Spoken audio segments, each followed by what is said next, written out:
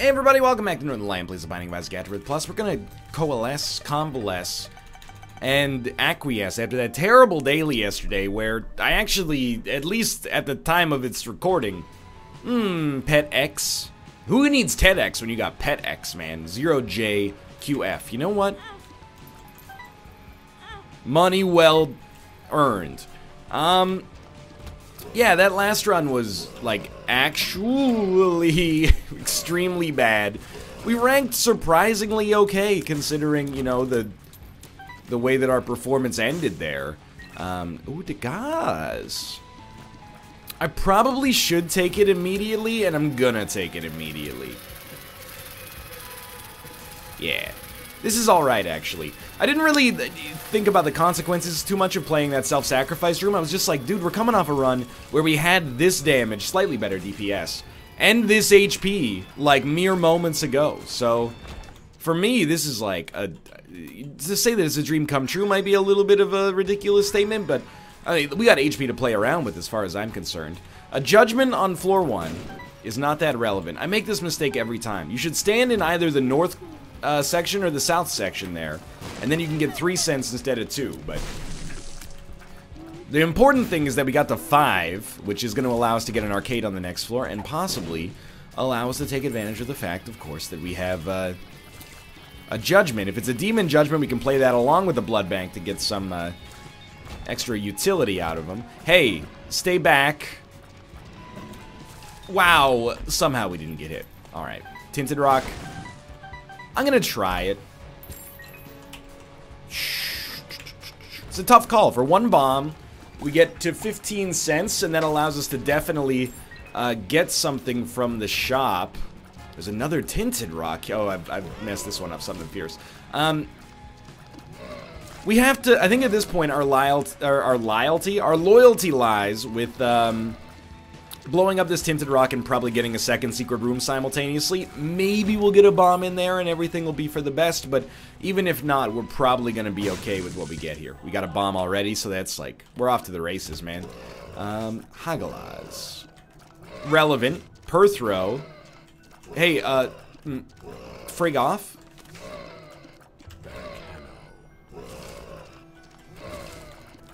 That was so close. Alright, so we got a lot of things to do here. We got Perthro, the Gauze. We'll just pop Dagaz right now because we don't need that long term. Uh, Perthro is fine to take with us. And we're going to take a Hagalaz. A Holiday Life. It's a great song, though. We're going to blow this up. Come back here. I didn't. Why not pick up the red heart there? This is a great Hagalaz opportunity. Got another bomb out of it here and a little bit of money as well. More than enough keys. Oh, you are an idiot. Okay.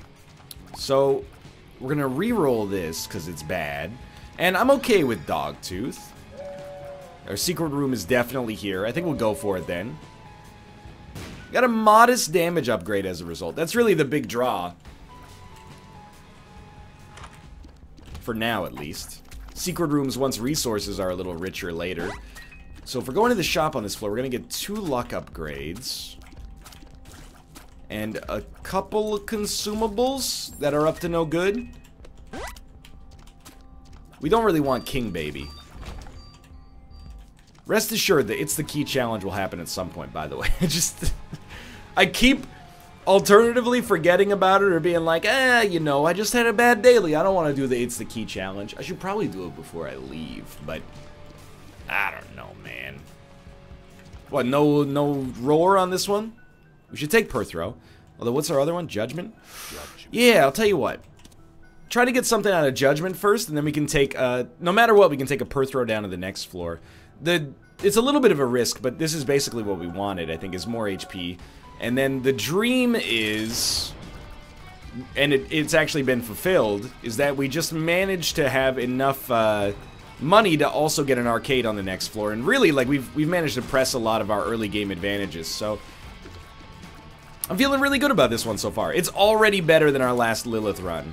Um, although, our last Lilith run, it, I mean, it's not really a high watermark that we should probably uh, you know, be be too proud of being uh, ahead of now. There goes our spirit heart, unfortunately. I've been playing pretty terribly, just walking into enemies for no reason whatsoever. I'll take it. I think it's fine.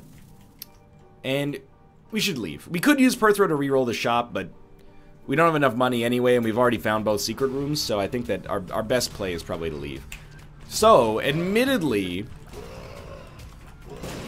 our HP is a lot less relevant if I can't find a deal with the devil as a result of the fact that I don't have any spirit hearts and take some damage. So we are a little, uh, nervous isn't the right word, but apprehensive. It's a word that doesn't get used that much, I feel, in this day and age, but I like it. It's like anxious without the loaded term, you know? Like I'm not physically experiencing the symptoms of anxiety as a result of the fact that we're in a little bit of a delicate situation, but at the same time, oh, I recognize that it requires some delicacy and care in this situation.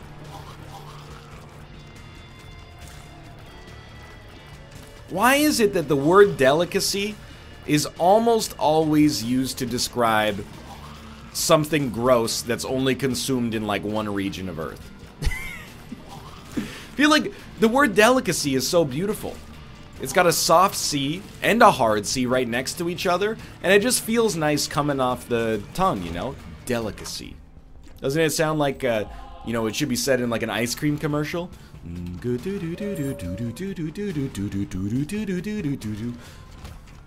Delightful delicacy. From the culinary minds of Breyers, introducing Vanilla Swirl. I told you, dude, my exit strategy for YouTube is commercials. I don't I don't care if I have to be the voice in the commercial. I'd like to be the egghead behind the, you know, the brainstorming, but I'll take what I can get. Um, I think we should explore a little more. Just, ah, but we do have a good opportunity to maybe fight this guy and be okay. I, I just want the key, please. Thank you. Um, let's do this first. But instead, it's like the most commonly described like way to use delicacy is like, oh yeah, in the Philippines, um, congealed duck fetus eggs are a delicacy. I can turn the gaze inwards, by the way. My own country. We're probably gonna get hurt here. Yeah, but I think it's okay. You should never per throw the d6. Wait, no, no. This, hold up. You should normally never void the d6 because you reroll items before sucking them up. So I think we should say goodbye d6. It's been fun. I love you. And we'll just take Little Brim and continue to take damage as a result, but still. Um, we already have enough speed, so let's try to suck this up, and we actually got a rate of fire increase. If we'd walked on the spikes there, we could have died, which would have been kind of hilarious, to be fair. Um, but there, there are bad Canadian delicacies. People think that this is a joke. It's no joke. It's not like we eat this every day. In fact, I think I've had it like twice in my life.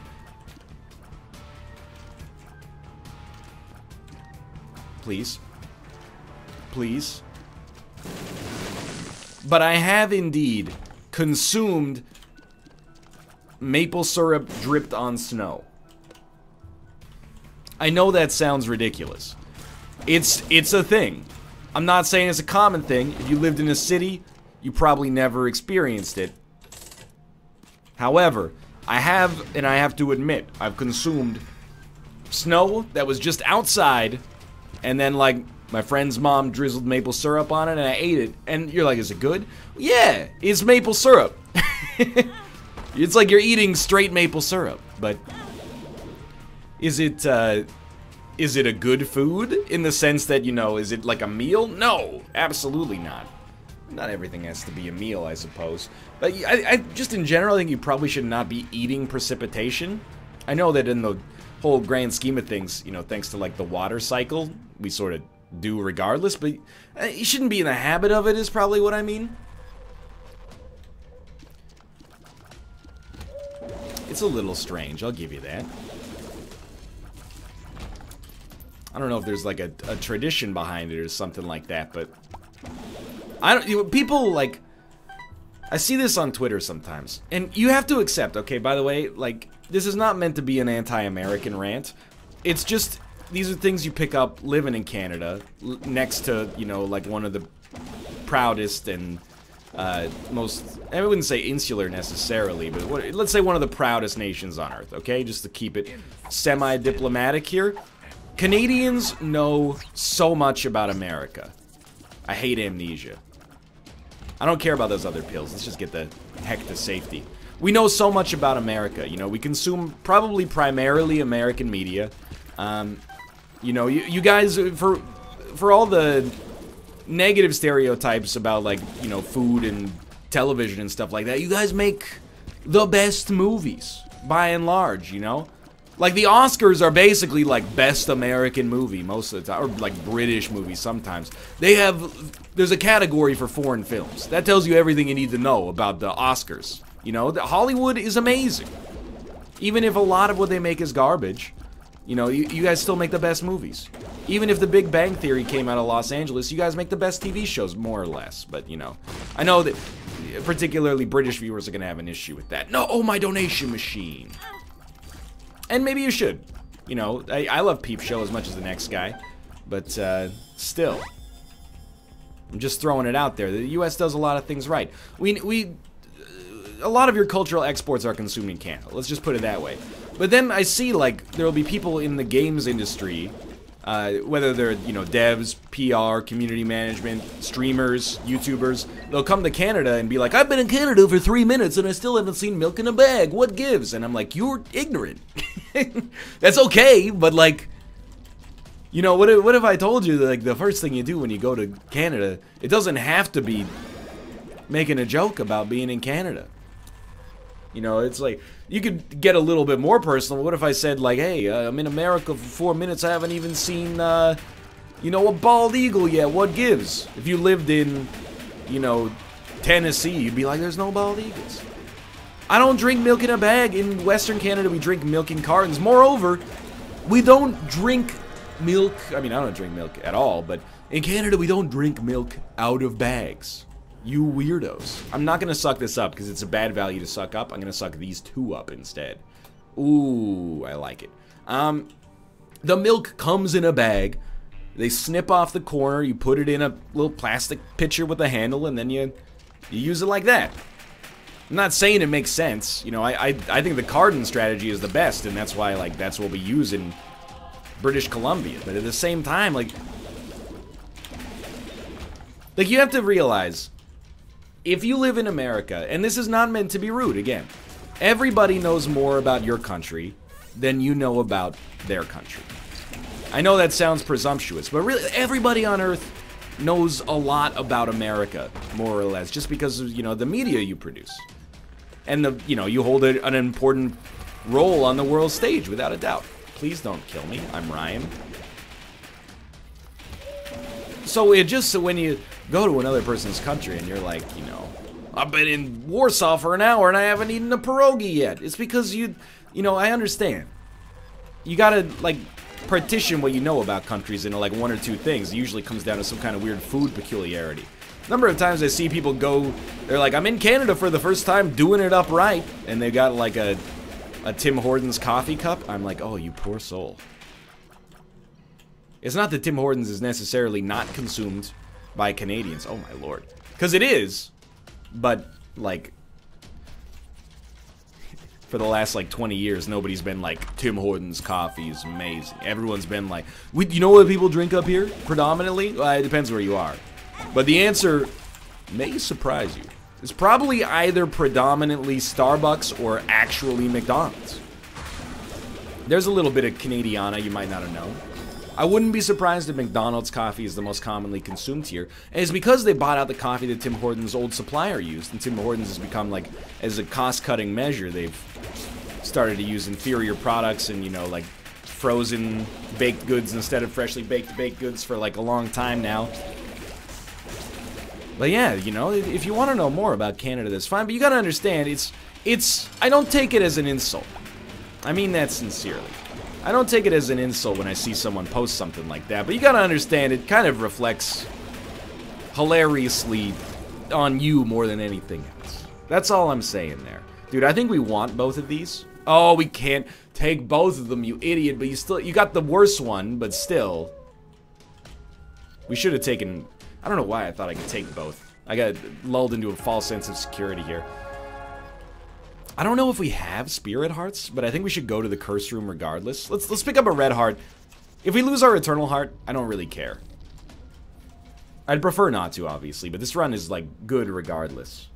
In fact, it's quite good regardless. I would be playing that blood bank if I knew how much HP we had. Wow. I would be the same way, by the way. And I've, pr I've probably exactly done this. Like, oh, I've been in Sweden for 10 minutes I haven't eaten a meatball yet. But, like, I'm trying to, as I get older, I'm trying to curtail that stuff a little bit. Because, like, people are living their whole lives here. And when I think of Sweden, I shouldn't think of meatballs. You know, I should think of the proud history of Gustavus Adolphus. You should think of Carolus Linnaeus and the invention of binomial nomenclature. When I think of Finland, I shouldn't just think of Teemu Selanne. I don't think we want to suck that up. I should think of, um, you know, their national identity. Proud fighting during the Winter War. And I mean, I don't know too much more about it, but I gotta stop. And this is where I turn the gaze inwards again. I gotta stop identifying countries based on capital cities and foods. it's like the two easiest things to know about a country. I do get a little offended, and it's not like real offended, but I, I get a little, I find it, I'm incredulous, let's put it that way, when I talk to my co-hosts and they don't know what the capital of Canada is. I'm like, we're your, we're your next door neighbor, and you don't know what our capital is? That's crazy. I think we want to use this first. I ended up working out okay. Like, learn a little bit about the world around. It can only benefit you to, to feel like the world is a smaller place, I think. You know, is it... People have the idea, I suppose, like, is that actually relevant information? Probably not, unless you want to be on, like, Jeopardy someday, but I hate that excuse to not learn something. And, and, you know, I probably use that excuse. I think everybody uses that excuse when it's convenient for them, but, like, oh, is this going to be on the test later? Maybe not, but, you know. Is there... I think sometimes it takes more effort to not learn something than it does to learn something. You gotta send, like, a subconscious... No second secret room you gotta send a subconscious message to your brain that's like, hey brain, don't push this into long-term storage, please. No secret room? No, there is a secret room here. I should be listening more closely to that, but I am also talking over it on the regular. Nah, we don't need you. So this floor, like, we have we have started to roll completely. And I know you're probably going crazy. There's this tinted rock back here. Let's grab that. Ooh, that's a... We've gotten so many fewer uh, small rock payouts. So I'm extremely happy to see that. We will probably try to suck up these two items. Oh. Well, let's let's take a look in here. Right, we have Chaos. Um, so these are not amazing. I don't really care about having the D1 and the Necronomicon effect. I much prefer to use Void as if it's a Black Rune. But I'll use Black Rune here so I don't suck those up. That became Damage, Luck, and Speed. Um, and then I think I'll just take the Mark here. And we'll head down. This run is looking so nice. And this really, like, I think it's a, it's an easy rant. I've, I've come across a little more bluntly than I meant to. It's an easy rant to take offense to if you're from America. That's why I started it with all the compliments. And I mean that sincerely. Apart from Canada, the U.S. is definitely the country I spend the most time in. You know, we have family that live there that we visit on the regular. We went to America for Canadian Thanksgiving, you know? I don't love everything about the country, but uh, at the same time, I respect it. I pay homage to the, the sacrifices they've made on the world stage, and I respect that, you know, from a you know global standpoint, you guys have been on top for a while, and you know, you, when you're on when you're at, on the top, you get people take shots at you. You know, I've seen it in the Counter Strike chat. Oh, American, want a cheeseburger? And I'm like, yes. I mean, I know you weren't talking to me, but, you know, at the same time, can I please have a cheeseburger? That's the, like, the sickest of all burns. That's how you know that they've got you. I also, I feel like I'm not, uh, what's the word? I'm not qualified to speak as if uh, I were an American. However, we're probably the people that get uh, mistaken for Americans the most. You know, when you look at us, we look like we're American. When we talk, we sound American. And uh, oftentimes, you know, people just, whether rightly or wrongly, just assume you're from the United States when you're Canadian, and that's fine. This is I, I didn't actually realize Bookworm was this close, but I'm stoked. Um, sure, I'll take a three cent homing bomb setup here, which also allows us to do this, and then oh, seven cent ability to fly is nothing to sneeze at. We don't really want to suck up uh, Book of Secrets, I think, honestly. I'd rather save my charge. I don't really know where I'm going with this. I'm just saying, just like for the rest of planet Earth's sake, just learn a little bit about the the way the people there actually live before. It's like if I went to the United States and I was like, "Hello, America," and I posted a picture of like a Dunkin' Donuts cup. You, you wouldn't be offended, but you'd be like, no, "That's not even like that bad." But if I posted like, "I'm a true American now," was a picture of a Dunkin' Donuts cup, you would be like, "What are you talking about?" It doesn't make any sense. Do I just want to suck up go to Tammy's head? I don't think it matters. suck up both of these. You'd be like, you don't get it. That's not what we're like over here. It's based on a, a, a like a, a muted assumption about what life is like. I see that tinted rock. I desire that tinted rock. Thank you. Anyway, I'm taking too much. I'm taking it too seriously. Is all I'm saying. It's just like I, I work with uh, people every day, and I'm like, these are cool people. And then they come to Canada and they go, wow, where's the Tim Hortons? And I go, get out. Get out of my country. By the way, it's also over there. In most places. did you... First off, I'm sorry. Did you did you want some Tim Hortons? Oh, you were just making a joke? Alright, well. You know what? Frig off then. Anyway. That's I, I like to make fun of Canada though. We've got our own. Canadian cuisine is really weird because it's just American cuisine, but then we have poutine, which is actually a 10 out of 10. And if you are going to call it anything under a 6 without having consumed it, you can get out. But then we also have other uh, delicacies like, you know, pouring snow on, or pouring maple syrup onto snow. And I like I I literally cannot defend my country for that. We should not that's like putting ketchup on sand and eating it, except sand is not edible. But you know, you kind of get the idea. It's not that it's closer to putting ketchup on sand or just eating raw ketchup with a spoon than it is to uh, like a normal food. Then we also have meat pies. That's a, that's a traditional food here. I know we didn't invent them. And it's more of a French Canadian thing, but still. There's, there's other Canadian stereotypes, man. It's a cosmopolitan country. If we're gonna, let's build some bridges here and dispel some stereotypes, okay? Canadians, I don't know if we consume more maple syrup than planet Earth, but I probably consume maple syrup once a year, at most. You know why? It's friggin' expensive. If I'm out at a breakfast place and I've, I've somehow managed to order a, a pancake or a waffle, which doesn't happen that often, I'll have some maple syrup, but I'm never buying it for home use because it's like you know, $30 a liter. It's ridiculous. I mean, it's also probably like highly sensible, but you know, uh, we need sad bombs. I love them. I hate to see number two go because it would work really well with it, but so be it. We could have sucked them up, but we're we're just killing it, dude. I don't consume that many. Uh, I don't consume that much maple syrup on a daily, on a yearly basis. I probably consume like less than 100 milliliters of maple syrup annually, and it, same goes for like everybody that I know. Now, depending on where you live, that might change, but you know. I'm trying to think of other Canadian stereotypes. Do we say sorry all the time? Yes. It's called uh, being nice, having respect for the people around you. I will never apologize for the fact that we apologize, okay? I think that's part of Canadian culture. Do I watch hockey? Yes. I'm intimately familiar with the NHL. I follow the season fairly closely.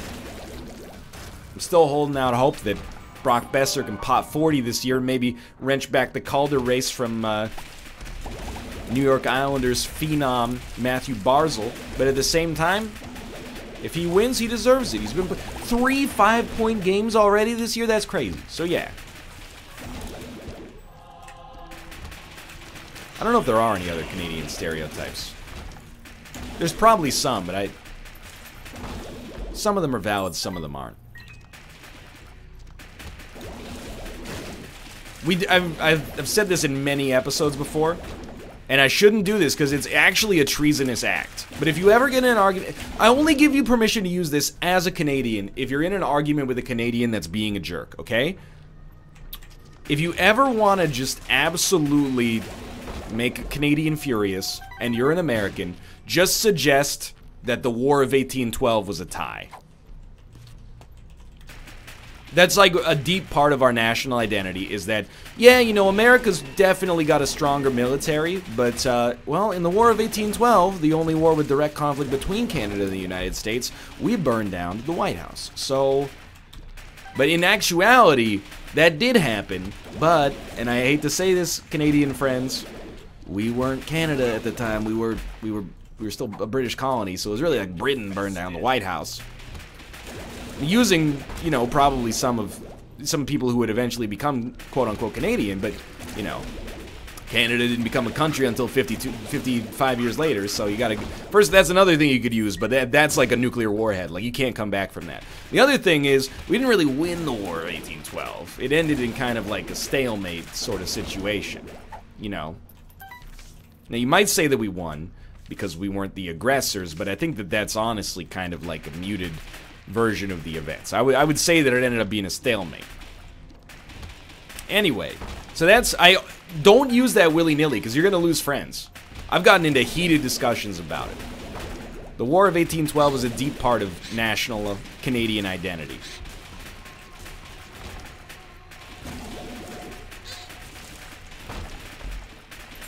That and, like, Rush. but not every Canadian likes Rush. A lot of Canadians are like, ah, you know, Rush is okay. We call them uh, snowbirds.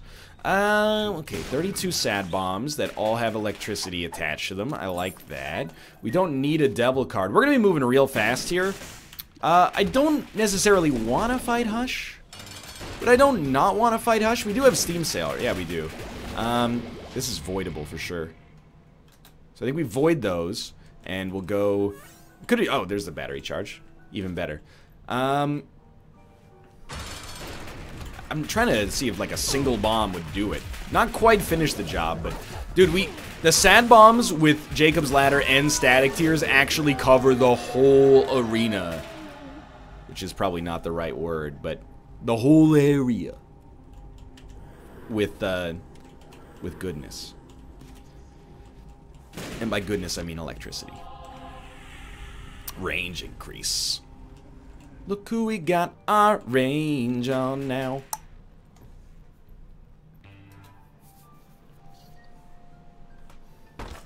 Um, okay. So, I mean, I again, I didn't really necessarily want to come down here, but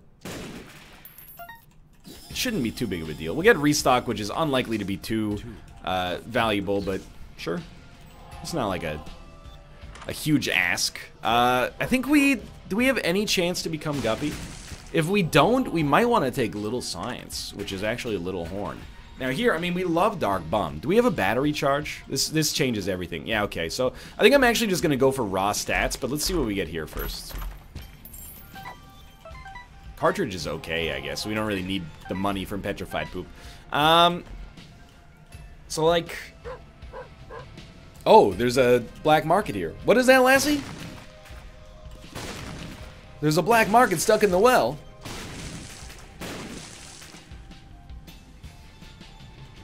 Amazing. I think we're not too. We have collar. Wait, no, we, we have collar. We did get ahead, and then this would be three, so we need that. Yeah, okay. Good, good remember. Good remembery. Great job, Brain. Uh, now you guys, sorry. Dark Bum's amazing. We just don't need it. We have... We're, we're set, basically. So we'll grab this. Picked up another luck upgrade and shot speed. Not really a big deal, but... Uh, okay, let's let's move along. We might as well try this. It could be the Joker. In fact, we might as well, like, keep trying them. Because we're not doing... Oh, you know, buy, buy items. Like, seven bombs with sad bombs is lovely. Euthanasia. Diplopia. Oh, my lord. I don't even know what we do in that situation. Um, the thing is, we don't really want... Oh, we definitely don't want to void that. We'd love to see that, like, disappear, actually. So, uh, I don't even think we can void these. Uh, what are we going to do with Diplopia, then? Like, nothing, I guess. If only I could, like, re-roll that somehow. I'm not missing out on an ability to re-roll that, am I?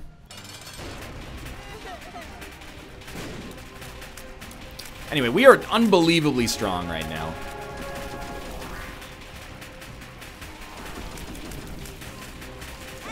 I'm not going to say, by the way, that we as Canadians uh, don't have ignorant stereotypes of other nationalities.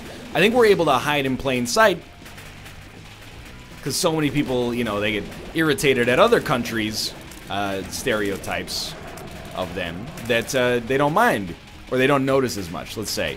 But when I went to teach in South Korea, for those of you who, are not aware, you know, it's not even about the Olympics necessarily, but South Korea is like a hyper-developed nation, is a easily a first world country. When I lived there, the city I lived in was substantially more technologically advanced and connected than the city I lived in in Canada, which was not Vancouver. It's kind of comparable to Vancouver, I think, but on an electronic level, at least, it was like way more switched on.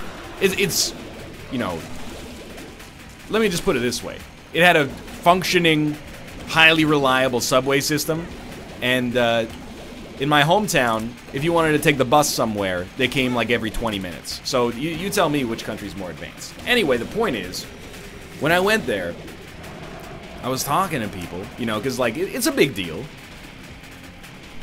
Being, like, a, a 19, 20, well, I guess I was, like, 21. But being a 21-year-old and you're gonna, you're like, you're gonna go live in Asia? I was talking to people, like, that my parents worked with, and they'd be like, have a fun time in Korea.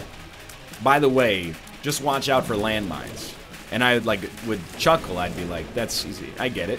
And they'd be like, no, like for real, they can't get, they, it's so hard to find them all. There's so many left over from the Korean War that, like, you, you might step on one. And I, you go to like downtown Seoul, a city with 20 million people, it's paved everywhere, and there's a touch screen on every parking meter. And you're like, oh, I, I really hope I don't step on a landmine outside of the H&M, you know? Like, I think on some level we're all ignorant, myself included. So, I'm not gonna go to Delirium. I'm just gonna move onwards here number of times, and sometimes it was a joke, and I was like, "That's that joke is fine," except I've heard it a hundred times. And sometimes it was not a joke. The number of times people would be like, "South Korea, right?" Like, yeah, you can't go to North Korea.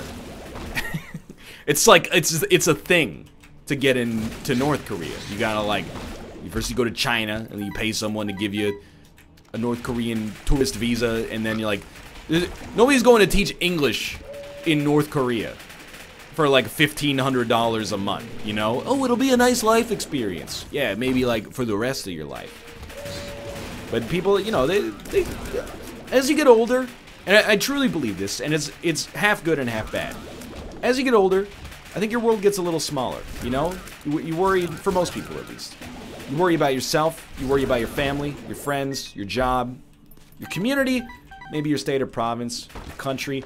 Everything else uh, beyond that starts to fade away a little bit, and, and the world can kind of leave you by. So I don't necessarily take offense to it, but there, there's like a shocking degree of ignorance that I found. It's like you, I don't expect you to know this because you're 60, but you can't teach English in North Korea. You know what? you know what North Korea is, right? Like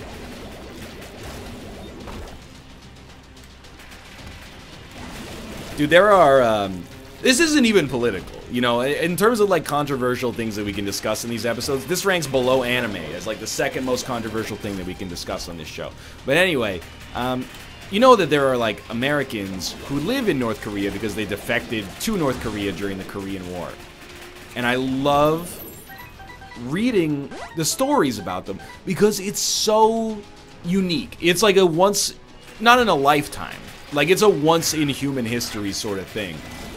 That you defected from the country that eventually won. No, I mean, like, um, this is, I guess, maybe a little bit political, but, um, because that was a stalemate as well. But I think no one would argue, like, if you had to choose between one of the two countries, which one would you rather live in? Let's just be honest. And then they're like 60, 70 years old now, and they've got to face the fact that, you know, they defected and are really losing the long con but still, like, the government treats them really well because they're like a figurehead for propaganda. So they're like, oh yeah, I love, I don't regret it for a second. And you're like, really? Like,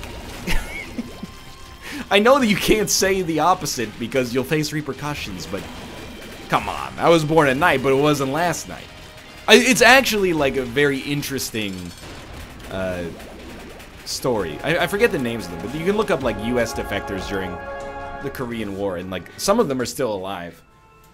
And it's it's really like in a way I wouldn't say I envy their experience, obviously, but it really is a unique human life. Like this is something that uh, very very few people are going to experience for better or for worse. Probably for better that most people won't experience it. But anyway, just a unique perspective. For now, thanks for watching. I hope you guys enjoyed the episode. If you did, click the like button. Helps out a great deal. Of course, subscribe if you want to see more in the future. For now, thanks for watching, and I will see you next time.